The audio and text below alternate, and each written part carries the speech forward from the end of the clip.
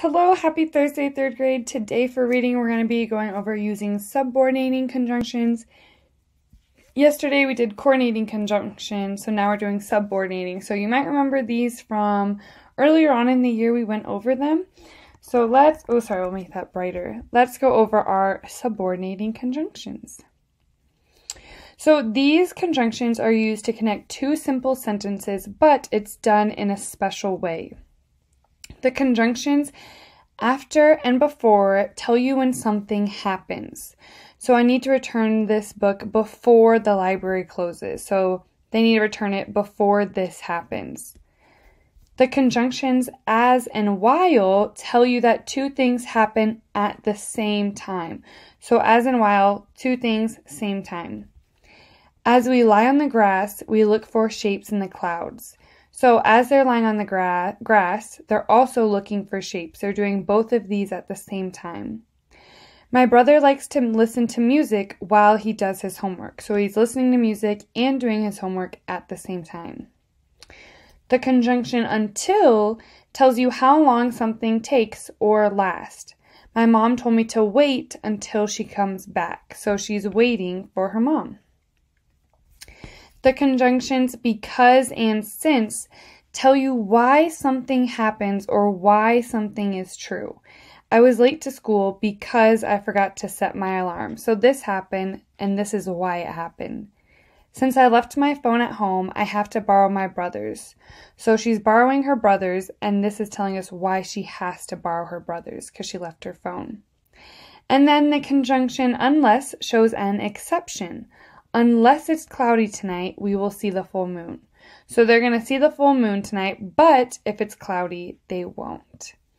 All right, so now we're going to go over examples and we get to pick which subordinating conjunction best fits the sentence. All right, so our sentence here is Kenny said good night, blank, he fell asleep. So first we're looking at our two conjunction options, unless and before. Before tells us when something is going to happen, and unless tells us of an exception. So, Kenny said goodnight unless he fell asleep. Well, that one doesn't really make a lot of sense because we're not talking about an exception of anything. But if we said Kenny said goodnight before he fell asleep, they're telling us the time. When did Kenny say goodnight? Before this happened. So this would make the most sense, and it sounds the best too. So let's try another one as well. Oh, I got it! Okay, so we have I let the dog out blank, I got home.